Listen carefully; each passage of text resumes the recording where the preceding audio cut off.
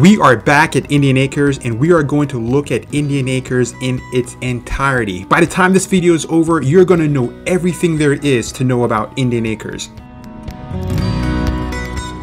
There are hundreds of property for sale at Indian Acres and I'm here to help you to determine if being here is the right call for you.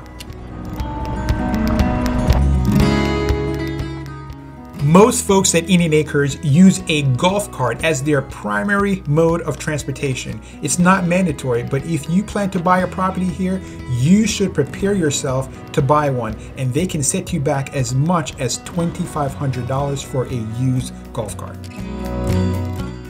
The largest lake at Indian Acres is Pocahontas Lake. We're going to head out in a kayak and take a look around.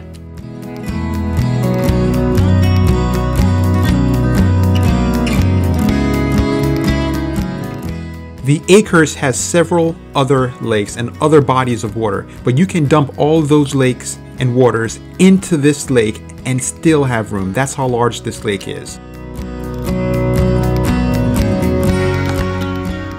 There are loads of property for sale at Indian Acres. Some sell for as little as a dollar. However, none of those are going to be on a lake. If you want to buy a lakeside property, be prepared to spend $20,000 on up just for the plot of land.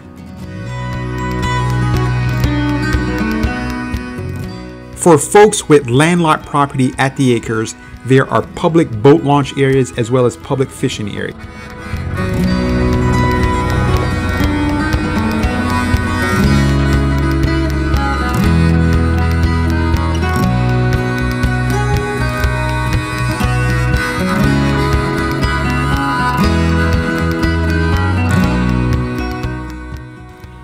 Using a golf cart may be the primary mode of transportation, but it's by far not the only way to get around.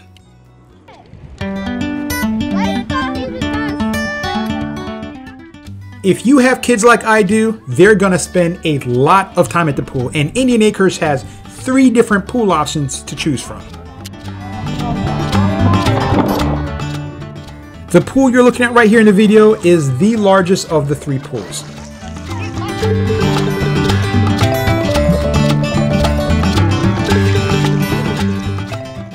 What we're in right now is, of course, the shallow section, but there is a deeper section that goes down several feet. Unfortunately, there is no diving board at any of the pools. Lounge chairs are available. It's on a first come, first served basis, and there's no extra cost for that.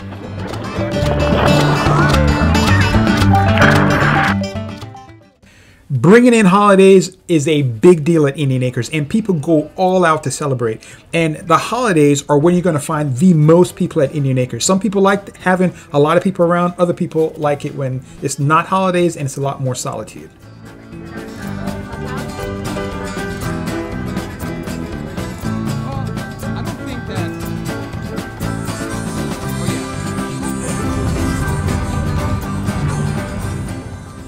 What you're looking at right now are a hundred of golf carts lined up to parade down Main Street for the 4th of July parade.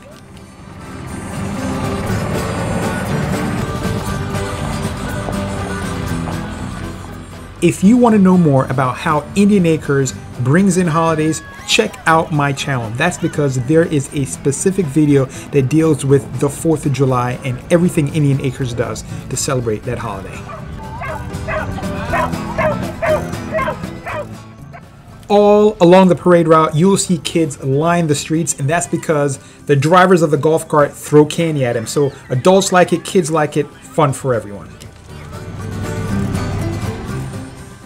If you're wondering who are the people who come to Indian Acres and make it their vacation home, for the most part, you're looking at blue collar workers, your average working day Joe, and they come with their families and they just want to get away from work and they want to have a good time, celebrate holidays, and spend time with loved ones and family. I have seen fireworks show in major metropolitan cities all across the United States, and I can say with confidence, nothing comes close to what happens at Indian Acres, largely because you're right on top of the fireworks and it is awesome.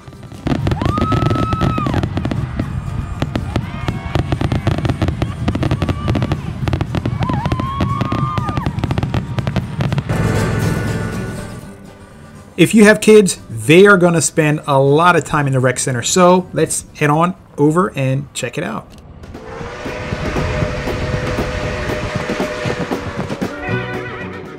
One of the things that I really like about the rec center is that practically everything in there, with the exception of the arcade and the vending machine, is absolutely free. Another concern I have was that the rec center was going to be packed. This is about as packed as you'll ever see it. This is on 4th of July weekend. The process for doing activities is simple. You show your membership or guest card, you get your rackets, your tennis balls, uh, whatever it is you want to do, and then you play. At the end, you return the item, they give you back your card.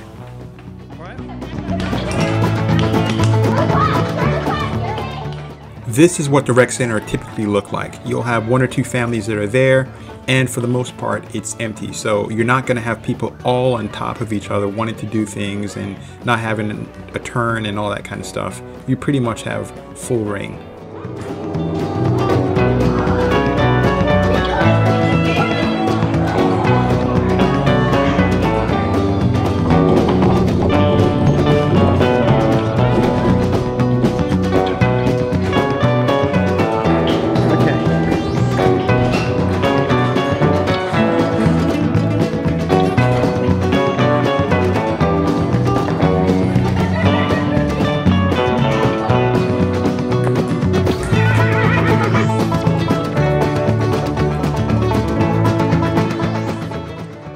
That's my dog on the bottom right hand part of the screen. And oftentimes when I go on vacation, I have to leave my dog behind. However, at Indian Acres, they love having pets. So bring your pets, they are welcomed.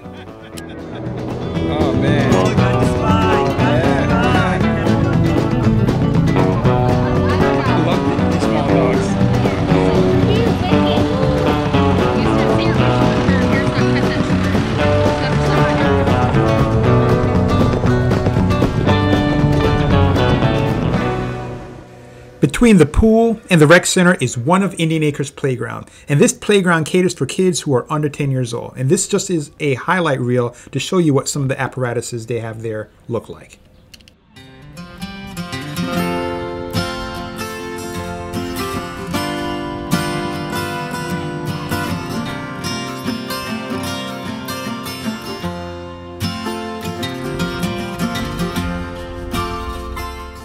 This is another playground located on a large field and as you can see it's pretty spread out.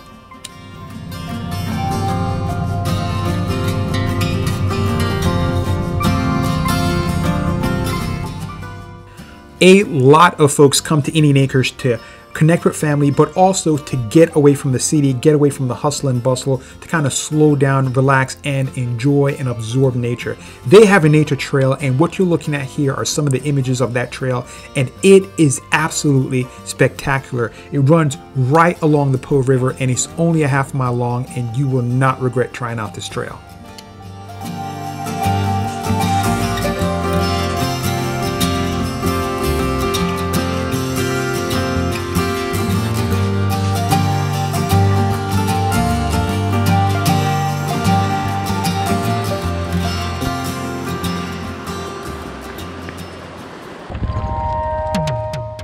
Indian Acres does have a sportsman club. I have not joined this club. It is largely made up of men who like to fellowship and get together at dinner and other social events.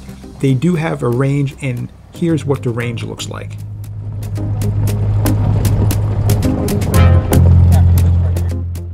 A lot of folks who visit the acres do so while traveling across country. They have fifth wheeling campers, and this is what the parking lot looks like for their campers. On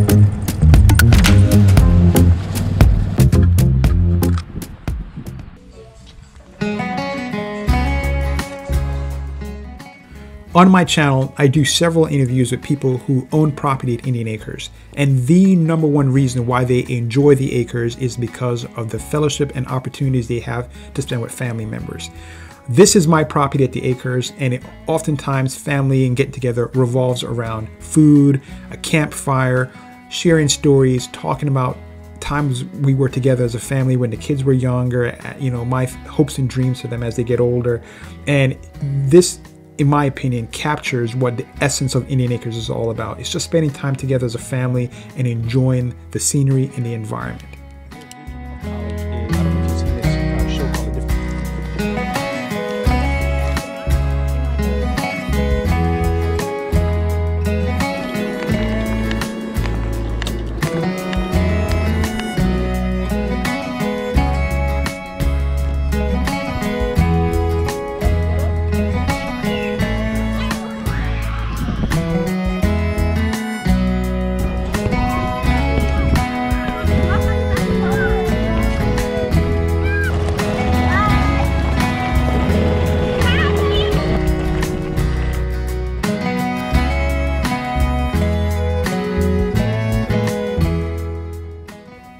The Acres, there are tons of things to see and do. And I just want to give you, in the next couple minutes, a collage of options of fun things that you and your family and your kids can get involved in. And it helps you to reconnect, build bonds, and just spend good quality, fun family time together.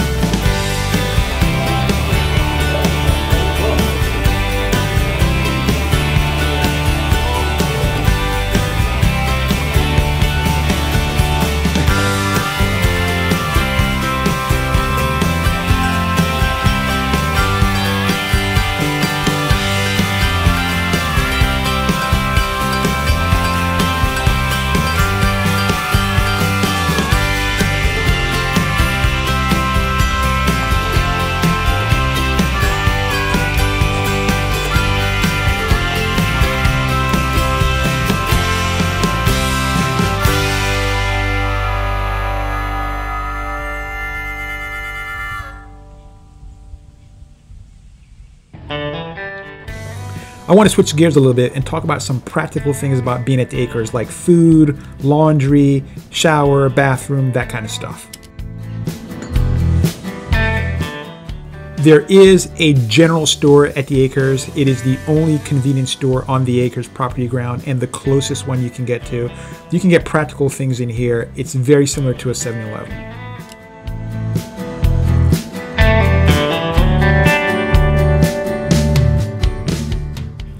There are bathrooms and shower stalls spread all throughout the acres. For a campground shower stall, it's in pretty good condition and they do have hot water.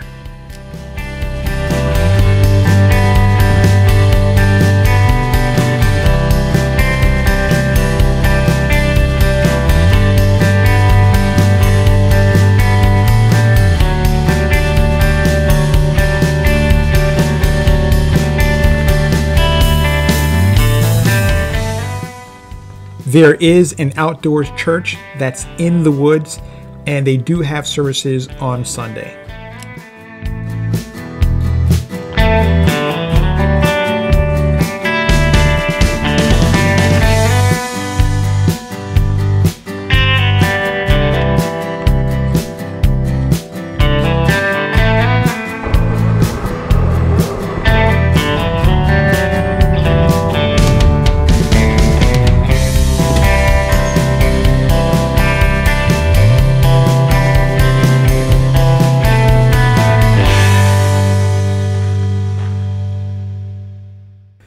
I saved the worst for last. The thing I dislike the most about being at the acres is that you have to dispose of your human body waste into that hole right there. Also, some of the locations are not well kept and they look like a human trash heap, as you're seeing on the screen right now.